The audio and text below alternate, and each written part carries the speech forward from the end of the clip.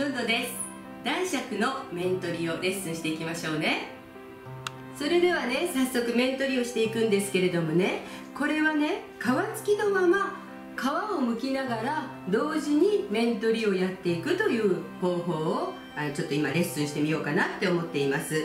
えー、っと洗わないでこんな風にねちょっと滑るので洗わないでこんな風に拭いてくださいね。そしてまずは4分の1に、えー、切り分けていきますね、えー、目がないかとかちょっとそういう風なことを今の段階で大きいこの丸のままの状態でね、えー、確認してください。ちっちゃくなるとね取りにくいんですよね。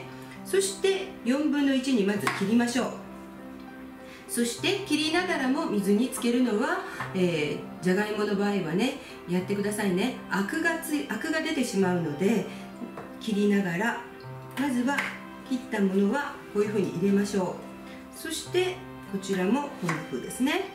でまずこれで大きくても大きくなくてももうちょっとちっちゃくしたいんだなって思ってもこの状態で皮を剥きながら面取りをしていきますね。えー、まずは包丁の角度と、えー、持ち方なんですけれどもこういう形なんですね。こういうふうに持っていただきたいんですね。初めはちょっとしんどいかもしれないんですけれどもこういうふうに持っていただきたいんですね。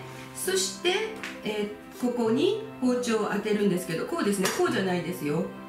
こうですね。こっちの方が黄色っぽい方がこっちですね。身の方が皮の方が下になりますね。そして包丁はこうではこうではないんですね。縦方向ではなくってこの皮の部分と身の部分がちゃんとこうカットできるような角度。こういう角度なんですね。でこれで同時に面取りをしながらくるりとこんな風にしてゆっくりゆっくりゆっくりですね。で皮だけじゃなくてこうすると皮だけになりますよ。こうやってちょっと倒してこういう風にゆっくり最初はねちょっと難しいな高度だなって思うかもしれないんですけどこんな風にぐるっとやっていくと慣れると皮と面取りが同時に終わるっていう風な、えー、作業ができます。こうしてもうこれは面取りが終わった状態なんですね。今は皮むきだけなんですね。でくるりとこんな風にして皮を剥いてるんですね。こんな風にしてちょっと目のあるあのあるところは取るんですけどももうここで面取りが終わっています。そして最後この周辺は皮を剥きながらもうくるりと面取りをしたんですけど最後ここが残ってるんですね。でここを包丁を当てていただいて面取りです。このようにして皮と同時に、えーと、面取りっていうのが終わりました。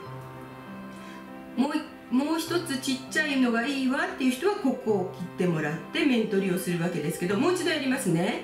はいえー、取っていただいてそしたらこうではなかったですね。こうです。身と皮同時に面取りから始めて皮むきです。これは面取りの練習と同時に皮むきの練習も包丁でやってると思っていただいて少しハードルが高いなと思っても練習するとこれ慣れるとすごくじゃがいもの皮むきが早くなるし面取りが同時にできるのでとても良いあのやり方なんですよね。覚えていただきたいんですね、はい、こんな風にして最初はゆっくりでいいですよ。でここのものを取っていただいてそして最後ここでしたね。でこここれは煮崩れしにくい。煮崩れしないわけじゃないんですけどこの形通りに、えーと、料理調理をしても仕上がってくるのでとても綺麗です。